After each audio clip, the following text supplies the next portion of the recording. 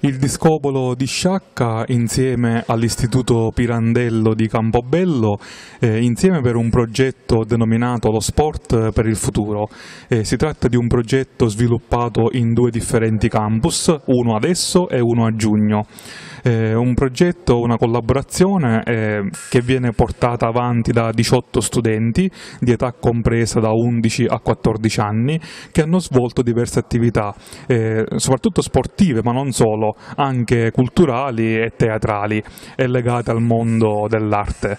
È un progetto eh, che è stato voluto dal MIUR e che è stato sviluppato in questi giorni a Sciacca. Si tratta infatti di campus non residenziali e ci spiegano i dettagli eh, Marinella Riggio del Discobolo e il professore Nino Mirabile dell'Istituto Pirandello di Campobello. Si tratta particolarmente di un'attività di integrazione e di inclusione coesione sociale, dove praticamente siamo di contrasto alle problematiche al disagio giovanile tipico di quest'età. Si tratta di una scuola di Campobello di Mazzara, infatti il campus è un campus non residenziale e favorisce appunto eh, lo sviluppo dei ragazzi attraverso l'attività fisica attraverso le varie attività che si sono svolte.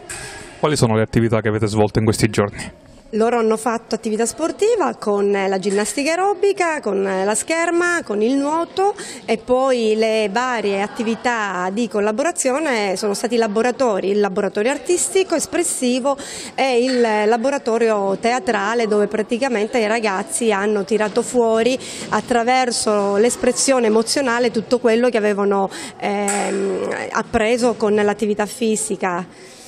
Ci sarà anche un altro campus?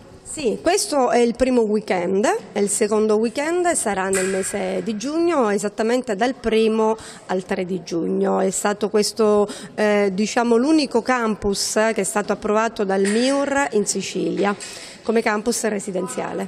Veniamo da Campobello, Istituto Comprensivo Pirantello San Giovanni Bosco e come ha detto la Marinella è stata l'unica scuola in cui è stato, è stato, accettato questo campus residenziale e poi tramite ricerche abbiamo trovato questa struttura che ci ha fatto da partner, ci siamo trovati molto bene e sono stati molto, molto gentili.